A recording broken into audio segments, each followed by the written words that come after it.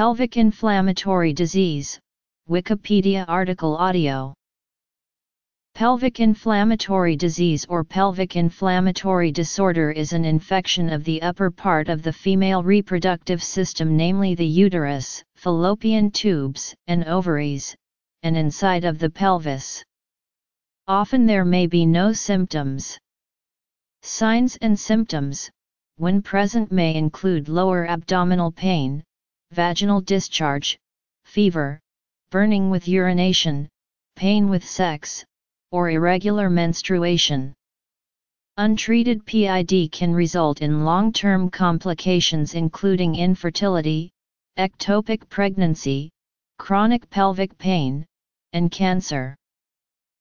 Signs and symptoms Cause Bacteria Diagnosis Differential diagnosis. Prevention. Treatment. Prognosis. Complications. Epidemiology. The disease is caused by bacteria that spread from the vagina and cervix. Infections by Neisseria gonorrhoeae or Chlamydia trachomatis are present in 75 to 90% of cases. Often multiple different bacteria are involved. Without treatment about 10% of those with a chlamydial infection and 40% of those with a gonorrhea infection will develop PID. Risk factors are similar to those of sexually transmitted infections generally and include a high number of sexual partners and drug use. Vaginal douching may also increase the risk. The diagnosis is typically based on the presenting signs and symptoms. It is recommended that the disease be considered in all women of childbearing age who have lower abdominal pain. A definitive diagnosis of PID is made by finding pus involving the fallopian tubes during surgery.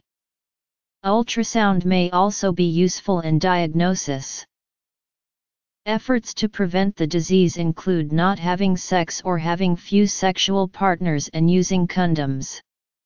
Screening women at risk for chlamydial infection followed by treatment decreases the risk of PID.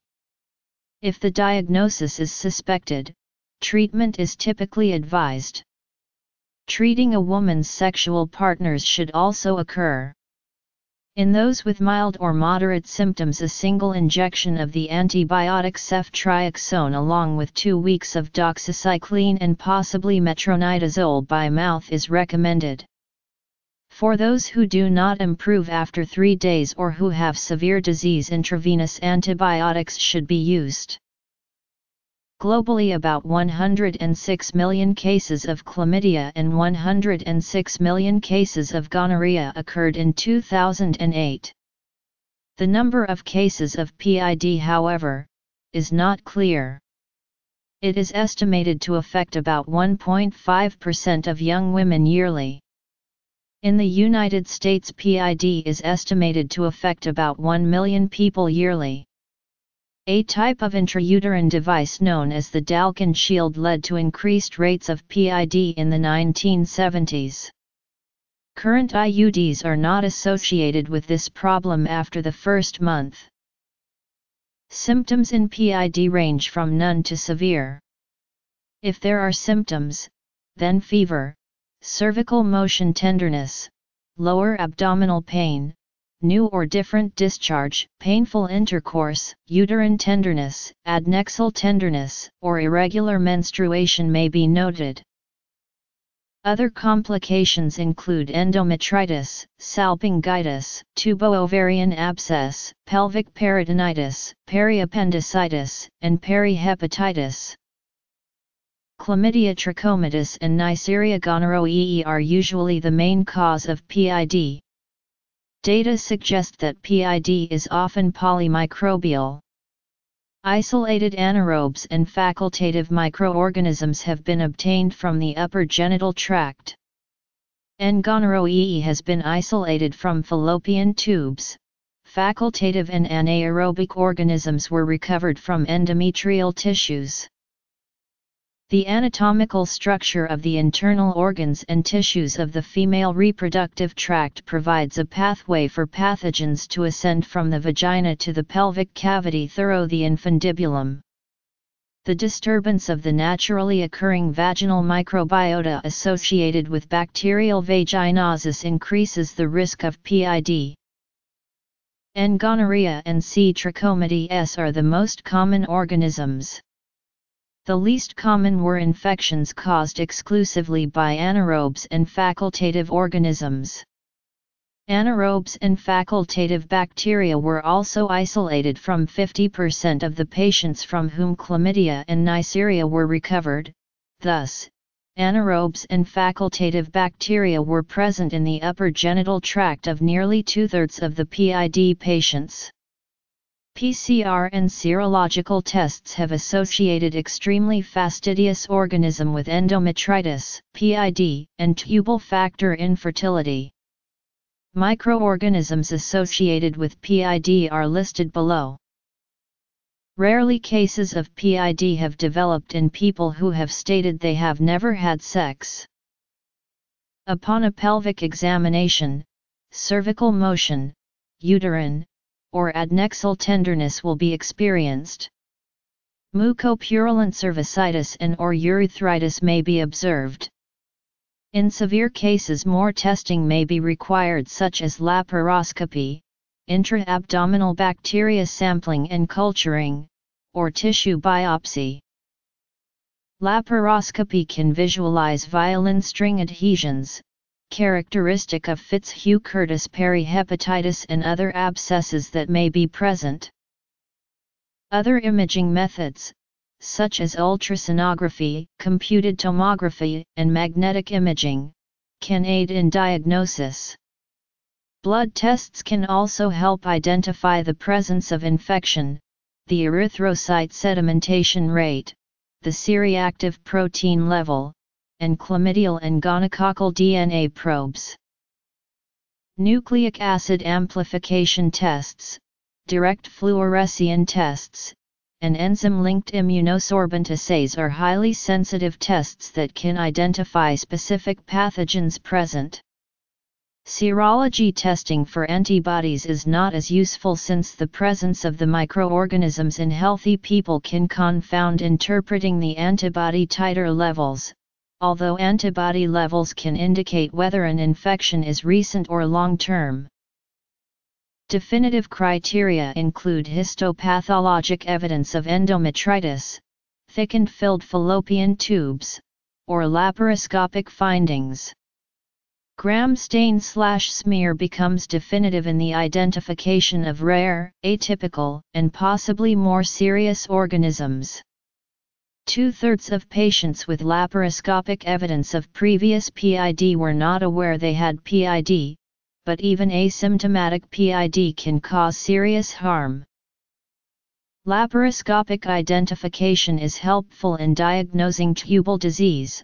A 65% to 90% positive predictive value exists in patients with presumed PID.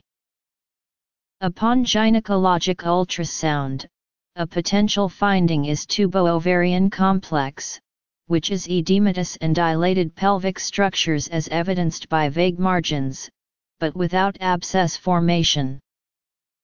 A number of other causes may produce similar symptoms including appendicitis, ectopic pregnancy, hemorrhagic or ruptured ovarian cysts, ovarian torsion, and endometriosis and gastroenteritis, peritonitis, and bacterial vaginosis among others. Pelvic inflammatory disease is more likely to reoccur when there is a prior history of the infection, recent sexual contact, recent onset of menses, or an IUD in place or if the partner has a sexually transmitted infection. Acute pelvic inflammatory disease is highly unlikely when recent intercourse has not taken place or an IUD is not being used. A sensitive serum pregnancy test is typically obtained to rule out ectopic pregnancy. Culdocentesis will differentiate hemoperitoneum from pelvic sepsis. Pelvic and vaginal ultrasounds are helpful in the diagnosis of PID. In the early stages of infection, the ultrasound may appear normal. As the disease progresses, nonspecific findings can include free pelvic fluid, endometrial thickening, uterine cavity distension by fluid or gas. In some instances the borders of the uterus and ovaries appear indistinct. Enlarged ovaries accompanied by increased numbers of small cysts correlates with PID. Laparoscopy is infrequently used to diagnose pelvic inflammatory disease since it is not readily available. Moreover, it might not detect subtle inflammation of the fallopian tubes, and it fails to detect endometritis. Nevertheless, laparoscopy is conducted if the diagnosis is not certain or if the person has not responded to antibiotic therapy after 48 hours. No single test has adequate sensitivity and specificity to diagnose pelvic inflammatory disease. A large multi-site U.S. study found that cervical motion tenderness as a minimum clinical criterion increases the sensitivity of the CDC diagnostic criteria from 83% to 95%. However, even the modified 2002 CDC criteria do not identify women with subclinical disease. Regular testing for sexually transmitted infections is encouraged for prevention.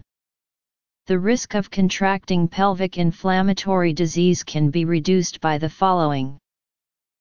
Treatment is often started without confirmation of infection because of the serious complications that may result from delayed treatment. Treatment depends on the infectious agent and generally involves the use of antibiotic therapy. If there is no improvement within 2 to 3 days, the patient is typically advised to seek further medical attention. Hospitalization sometimes becomes necessary if there are other complications. Treating sexual partners for possible STIs can help in treatment and prevention. For women with PID of mild to moderate severity, parenteral and oral therapies appear to be effective. It does not matter to their short or long-term outcome whether antibiotics are administered to them as inpatients or outpatients. Typical regimens include cefoxitin or cefotetan plus doxycycline, and clindamycin plus gentamicin. An alternative parenteral regimen is ampicillin slash sulbactam plus doxycycline. Erythromycin-based medications can also be used. Another alternative is to use a parenteral regimen with ceftriaxone or cefoxitin plus doxycycline. Clinical experience guides decisions regarding transition from parenteral to oral therapy, which usually can be initiated within 24-48 hours of clinical improvement. Even when the PID infection is cured, effects of the infection may be permanent. This makes early identification essential. Treatment resulting in cure is very important in the prevention of damage to the reproductive system. Formation of scar tissue due to one or episodes of PID can lead to tubal blockage, increasing the risk of the inability to get pregnant and long-term pelvic-slash-abdominal pain. Certain occurrences such as a post-pelvic operation, the period of time immediately after childbirth, miscarriage, or abortion increase the risk of acquiring another infection leading to PID. PID can cause scarring inside the reproductive system, which can later cause serious complications, including chronic pelvic pain, infertility, ectopic pregnancy, and other complications of pregnancy. Occasionally, the infection can spread to in the peritoneum causing inflammation and the formation of scar tissue on the external surface of the liver. Globally about 106 million cases of chlamydia and 106 million cases of gonorrhea occurred in 2008. The number of cases of PID, however, is not clear. It is estimated to affect about 1.5% of young women yearly. In the United States PID is estimated to affect about 1 million people yearly. Rates are highest with teenagers and first-time mothers. PID causes over 100,000 women to become infertile in the US each year.